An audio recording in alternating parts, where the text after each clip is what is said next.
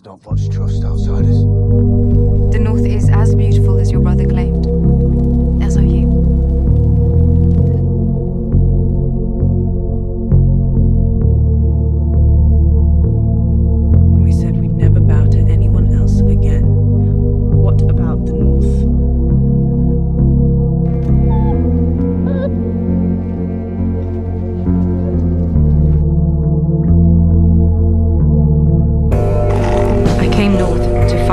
beside you, at great cost to my armies and myself.